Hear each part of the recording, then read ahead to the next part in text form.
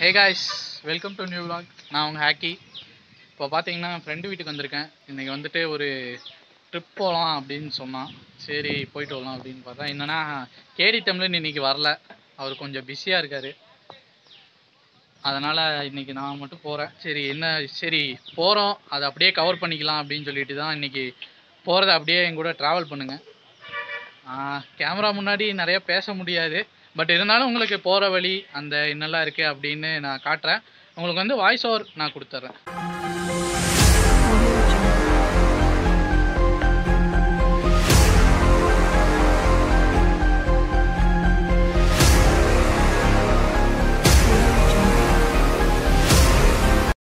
சரி இப்போ என்னாச்சுன்னா ஒரு காலங்கத்தால் ஒரு ஏழு மணி கொஞ்சம் ஏர்லியாக ஏர்லியர் தான் எனக்கெல்லாம். சரி எந்திரிச்சு வந்துட்டோம். சரி போயிட்டு ஒரு ஆஃப்டர்நூன்குள்ளே வந்துடலாங்கிறதா பிளானு அதனால தான் இவ்வளோ ஏர்லியாக கிளம்புறோம். சரி போயிட்டு வந்துட்டு அப்படியே என்னெல்லாம் நடக்குதுங்கிறத காட்டுறேன். கைஸ் நாங்கள் கிளம்பிட்டோம். ஒரு எயிட் செவன் தேர்ட்டி அந்த மாதிரி கிளம்பிட்டோம். இப்போ பார்த்தீங்களா இந்த ரோடு எவ்வளோ அழகாக இருக்குது பார்க்க. கோயம்புத்தூரில் பார்த்தீங்கன்னா பொள்ளாச்சி ரோடு இந்த மேட்டுப்பாளையம் ரோடெல்லாம் ரெண்டு பக்கமும் மரம் இருக்குது பொள்ளாச்சி ரோடு வந்து இப்போது மரமே இல்லை சொல்லப்போனால் அதை பெரிய ஹைவே பண்ணிட்டாங்க. பட் இந்த ரோடு வந்து இன்னும் தப்பிச்சிருக்கு. பட் இது பார்க்க நான் எவ்வளோ அழகாக இருக்குது பாருங்கள் இதே மாதிரி தான் கோயம்புத்தூரில் மேக்ஸிமம் ரோட்ஸ் இருக்கும். இது பாருங்கள் மறுபடியும் ஹைவே வந்துருச்சு.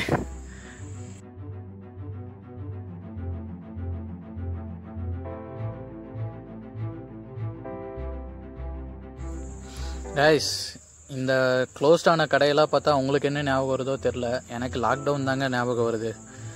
எல்லாம் க்ளோஸ்டான கடையை பார்த்து பார்த்து இது வந்து ஏன்னா நாங்கள் வந்து ஒரு எயிட்டு இந்த ஏரியாவுக்கு போகும்போது எயிட்டு அதனால் கடை வந்து எல்லாம் க்ளோஸ்டு ஓப்பன் பண்ணலை. பார்த்தீங்கன்னா தெரியும் கொஞ்சம் கொஞ்சம் வண்டி போயிட்டுருக்கு. ஆனால் இந்த ரோடு பார்த்தீங்கன்னா செம்ம டிராஃபிக்காக இருக்கும். நாங்கள் வந்து ஒரு ஏர்லி மார்னிங் போனனால அந்தளவுக்கு டிராஃபிக் இல்லை. So always prefer early morning drive with no traffic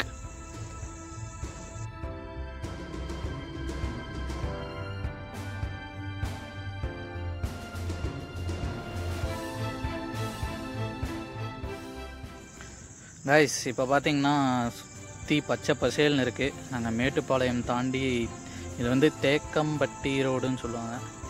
Thekkampatti போயிட்டுருக்கோம். பார்த்தீங்களா ஃபுல்லாக பார்க்க போகிறோம் அப்படியே பச்சை பசேல்னு செம்மையாக இருந்துச்சு அந்த லொக்கேஷனு ஏர்லி மார்னிங் டிரைவ் அது மா அதுவும் இந்த மாதிரி ஒரு கிளைமேட் அப்புறம் இந்த லொக்கேஷன்ஸ் எல்லாம் செம்மையாக இருந்துச்சு. வேறு லெவலில் இருந்துச்சு. பார்த்தீங்கன்னா பார்க்க போயிட்டு அப்புறம் பார்த்தீங்கன்னா தென்னை மரம் தென்னந்தோப்புலாம் வந்துருச்சு. செம்மையாக இருந்துச்சு அன்னைக்கு. உங்களுக்கு அந்த விஷுவல்ஸ்லேயே தெரிஞ்சிருக்கும். எவ்வளோ அழகாக இருக்குது அந்த பிளேஸ் வந்துட்டு. இது வந்து மேட்டுப்பாளையம் டு தேக்கம்பட்டி அந்த ரோடு ரெண்டு பக்கமும் பார்த்தீங்கன்னா பச்சை பசேல்னு பார்த்தீங்கன்னா அந்த ஊர் அந்த போகிற வழிக்கு முன்னாடி வந்த ஊர் இது.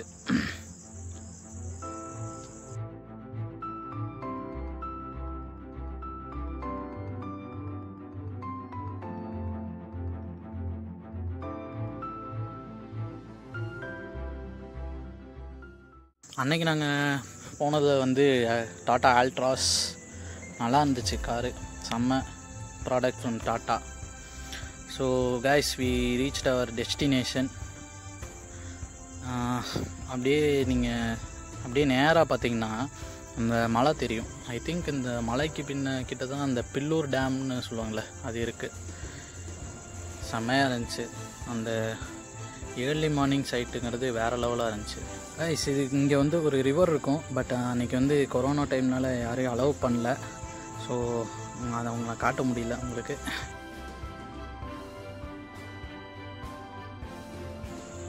கைஸ் அங்கே வந்து கிளம்புனோம். ஒரு நைனுக்கு நயனுக்கு கிளம்பி இப்போ எங்கே போயிட்டு போகிறோம்னா சக்தி அதாவது பண்ணாரி நம்ம கர்நாடகா தமிழ்நாடு பார்டர்னு சொல்லுவாங்க. அந்த ஏரியாவுக்கு போயிட்டுருக்கோம் நாங்கள் வந்து அன்னூர் வழியாக போனோம். அண்ணன் அதுவும் போகிற வழி பார்த்திங்கன்னா உங்களுக்கு வந்துட்டு எங்கே பார்த்தாலும் க்ரீனிஷ் தாங்க. ரெண்டு பக்கமும் பச்சை பசேல்னு செம்மையாக இருந்துச்சு. அந்த ஏர்லி மார்னிங் அது வேறு லெவல் பண்ணிருச்சு. ஃபீலையே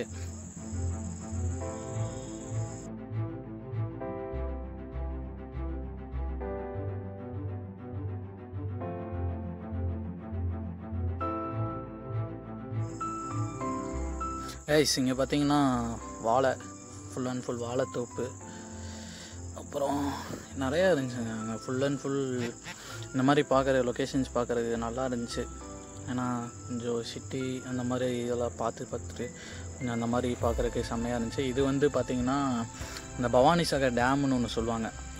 நாங்கள் போகிற வழியில் வந்துட்டு இங்கேருந்து பார்த்தா அந்த டேம் தெரியும். நீங்கள் அதை முன்னாடி அதான் பார்த்தீங்க அந்த பவா பவானி சாகர் டேமை. ரொம்ப பெருசாக டேம் தெரியலனாலும் தூரத்தில் பார்த்தா டேம் தெரியுது. அந்தளவுக்கு இருந்துச்சு.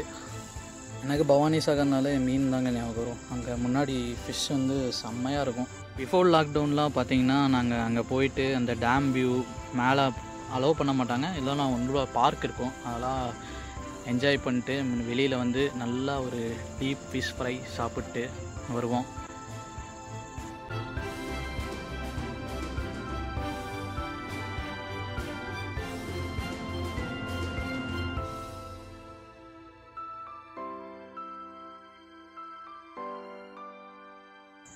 ரைஸ் நாங்கள் போகும்போது இந்த சைடில் இந்த மாதிரி வீடெலாம் இருந்துச்சு. ஆக்சுவலாக பார்த்தீங்கன்னா இந்த மாதிரி வீடெல்லாம் ஃபாரஸ்ட் ரேஞ்சர்ஸ் இருக்கிற அந்த ஆஃபீஸர்ஸ் இருப்பாங்க தெரியுமா? அவங்க இருக்கிற வீடுன்னு தான் சொல்லுவாங்க. பட் இது என்னென்னு ஆக்சுவலாக தெரில பட் அந்த ஒவ்வொரு வீடு பாருங்கள் சேம் காப்பி எல்லாம் காப்பி அடித்த மாதிரி இருக்குது இது வந்து பார்த்திங்கன்னா இந்த ஒரு ரோடு ஸ்ட்ரெயிட்டாக போதும் பார்த்தீங்கன்னா அது வந்துட்டு பவானி சாகர் அப்படிங்கிற ஊருக்கு போகிற ரோடு இப்போ நாங்கள் எங்கே போகிறோன்னா பன்னாரி ரோட்டை டச் பண்ணிட்டோம்.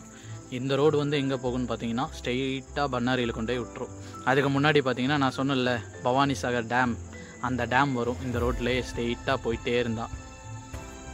கைஸ் இப்போ பார்த்தீங்கன்னா அந்த சைடில் தெரியுது பார்த்தீங்களா? அது வந்து காம்பவுண்ட் இல்லைங்க பவானி சாகர் டேம் இந்த டேமை பற்றி தான் நான் பேசிகிட்டு இருந்தேன். உள்ளே மேலே அலோவ் பண்ண மாட்டாங்க. பட் இந்த உள்ளே இப்போ போ தெரியுது பார்த்தீங்களா இந்த பார்க்குக்குள்ளே நம்ம போய்க்கலாம். உள்ளே ஃபிஷ் ஃப்ரை இருக்கும்.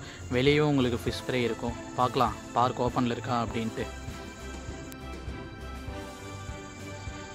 கைஸ் இதுதான் அந்த நான் சொன்ன Bhavani Sagar dam park unfortunately அன்னைக்கு அலோவ் பண்ணல. தேர்ட்டி ஃபஸ்ட் வரைக்கும் யாரும் அலௌட் இல்லைன்னு போர்டே வச்சுருக்காங்க.